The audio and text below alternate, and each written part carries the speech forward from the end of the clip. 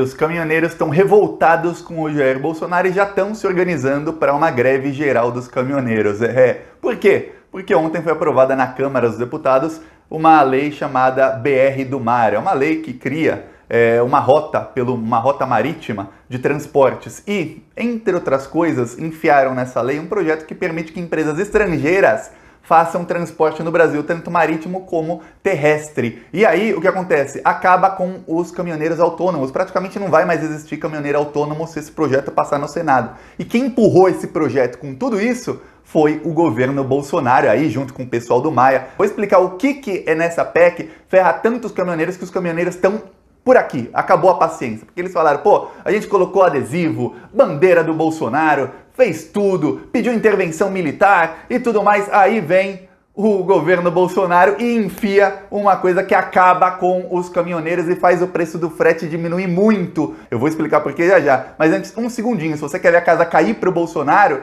então se inscreve no canal e curte o vídeo. A gente aqui faz oposição ao governo Bolsonaro todos os dias. Então você se inscrevendo no canal, você ajuda a fortalecer a oposição ao Bolsonaro aqui nas redes sociais que são tão importantes. A gente faz oposição no TikTok, no Twitter, no Instagram, no Facebook e aqui no YouTube também. A gente faz, seja com outdoors, que a gente está colocando em várias cidades, ou com carros de som. E hoje, hoje o nosso carro de som rodou no Rio de Janeiro por 4 horas. Vou mostrar o vídeo bem curtinho de parte da ação. É, são 25 segundos o vídeo só. Olha só que legal.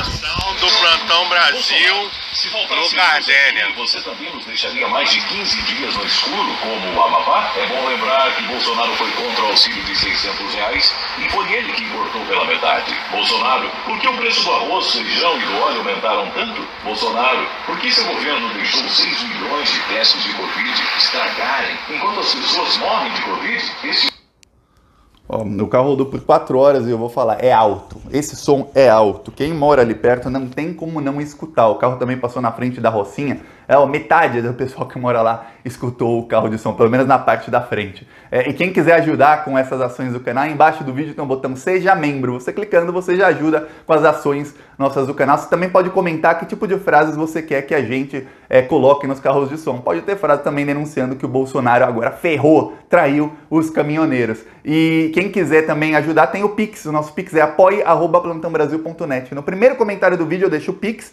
que é apoie.plantãobrasil.net. Eu deixo o link para o PicPay, para o Apoia-se, outra plataforma, e conta bancária para quem também quiser ajudar dessa maneira. Agora vamos falar sobre a traição do Bolsonaro aos caminhoneiros. Ó, fizeram pelo Bolsonaro os caminhoneiros, hein? Fizeram muito pelo Bolsonaro. Quando ninguém acreditava que o Bolsonaro poderia ganhar o presidente, quando a, a maioria das pessoas ainda faziam chacota do Bolsonaro, os caminhoneiros estavam lá já gritando mito, mito, intervenção militar, vamos lá, Bolsonaro, Bolsonaro, tudo mais. Aí o Bolsonaro entrou e, segundo aí, não são palavras minhas, Tiago, é a palavra de um rapaz chamado Chorão, que é o, o, é o presidente da Associação dos Caminhoneiros, o Bolsonaro sempre deixa as pautas dos caminhoneiros para depois e coloca as pautas dos empresários na frente. Mesmo quando uma se choca com a outra, aí o Bolsonaro tira dos caminhoneiros e fica com a dos empresários. É isso que o Bolsonaro faz. E aí, o que, que acontece? Aí acontece que eles estão se revoltando cada vez mais, estão ficando cada vez mais, é, mais desapontados, frustrados com o governo Bolsonaro. Claro, demora para cair a ficha quando, quando uma pessoa é traída, ainda mais na política, quando uma pessoa às vezes até brigou com a família, brigou com amigos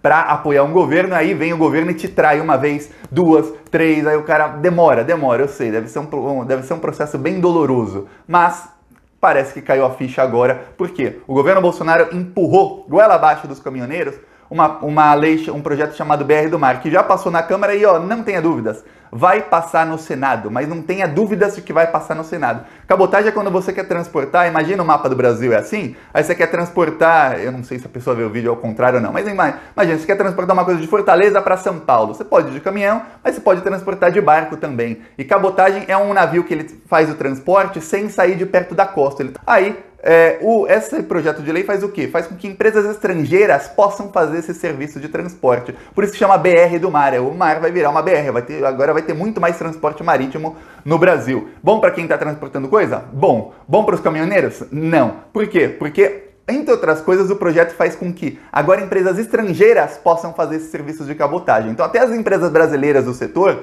já não estão felizes. E os estrangeiros vêm aqui, ó, imagina empresas ah, como empresas americanas, empresas europeias, chinesas, de tudo quanto é país, vindo aqui no Brasil concorrer com as empresas brasileiras. Empresa brasileira que não tem incentivo nenhum. E essas empresas têm incentivo no país deles. É por isso que você fala, ah, mas a outra empresa é melhor. É claro que é melhor. Eles têm incentivos, eles ganham empréstimo para pagar daqui não sei quanto tempo, ganham um monte de coisa. E aqui no Brasil o governo não incentiva nada. Bom, o governo Dilma incentivava, né? Todo caminhoneiro deve ter saudades de pagar na gasolina o que pagava no governo Dilma. Deve ter saudades de receber de frete o, o que recebia no governo Dilma comparado a quanto custa a gasolina, a gasolina não, o diesel, a quanto custa o diesel, a quanto custa o salário mínimo, a quanto custa tudo. É, deve ter, né? Mas apoiar o golpe tem que protestar. Aí o que acontece? As empresas estrangeiras vêm, a, a, o projeto de lei também tem um destaque, aí foi um destaque do Partido Novo.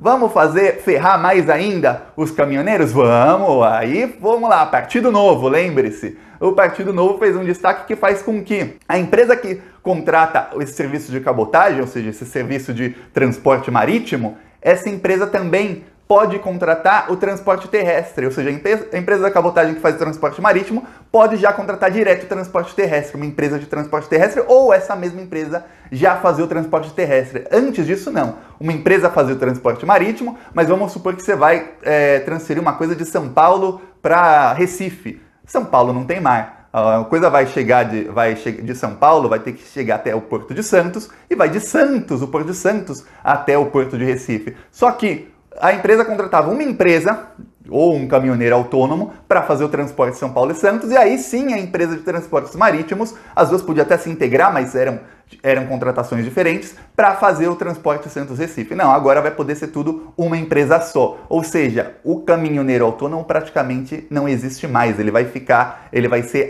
tirado do negócio. O caminhoneiro vai ter que se render, se ele quiser continuar sendo caminhoneiro, vai ter que se render até um patrão, até um chefe, um chefe que vai explorá-lo, que vai mandar ele trabalhar mais horas, pagar menos horas, e aí ele vai ter que se render à, à reforma trabalhista, vai ter que ter jornada de trabalho, ter risco de ser demitido e ficar desempregado. Olha só o que vai acontecer, porque ele não vai mais conseguir arranjar trabalho. Para piorar, as empresas estrangeiras vão poder fazer o transporte terrestre. Agora imagina que vem uma empresa americana, chinesa e tudo mais com muita estrutura, se instala aqui no Brasil e faz o transporte pela metade do preço. Por quê? Porque eles já têm toda a estrutura, eles já têm toda, toda a logística. Aí os caminhoneiros, até as empresas do Brasil, vão ter um problemão. É só o PT sair que a gasolina cai. É, caiu. O preço da gasolina na refinaria pode cair 90%. Você vai continuar pagando 4, 4,50 litros de gasolina na bomba, porque as distribuidoras e os postos estão embolsando o lucro. É isso que está acontecendo. Ou seja, a gasolina já era para estar tá hoje mais ou menos a 3,20. O preço do diesel eu não acompanho, mas a gasolina é para estar tá 3, 3 a 3,20 hoje. Ou seja, preço do governo Dilma.